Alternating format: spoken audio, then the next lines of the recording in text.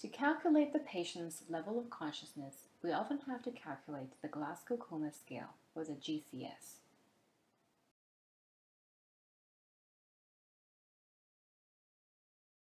If the patient responds spontaneously or to verbal stimuli, we can easily calculate the GCS by looking for their verbal, motor, and eye responses.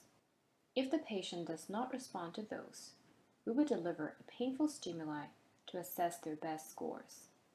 There are different ways to do this. One is the sternal rub. Ensure there is no open wound or flailed chest on the patient. Make a fist. Push downwards on the patient's sternum for 3 to 4 seconds. Another one is to deliver a painful stimulus on their nail. Take a pen, roll the body of the pen downwards on the nail bed for 2 to 3 seconds. During both painful stimuli, record the patient's best responses in eye, motor, and verbal.